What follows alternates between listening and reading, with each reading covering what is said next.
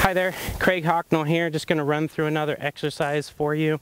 This particular one is about plane awareness. So what you do is you take your saber, put it out in front of you. We're connecting the movement of our entire body with our arm swing, right? So what'll happen if I turn and face in this direction, as I take my golf stance, I'll turn with my arm straight out and usually like to put my fingers out like this to help as well, but you can curl them under if you want. But this helps me to see that plane. If from my perspective, I'm looking back, this looks like about a 45 degree angle or so. That's pretty good. Then what I do is I turn my body all the way to the other side, and when I stop in this position, I want to see that. I don't want to have seen my arms moving back and forth.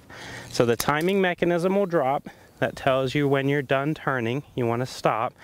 What you're monitoring is this. If you drop your hands down at all, what happens is that ball inside the timing mechanism will slide.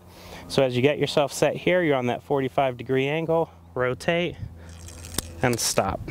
You're getting a good hip turn. You can see me moving my butt, turning back, holding, turning through, holding, turning back, holding. So what this does is it helps to connect up the spin of the body and the arm swing. So this is a plane training exercise that you can use with your golf saber.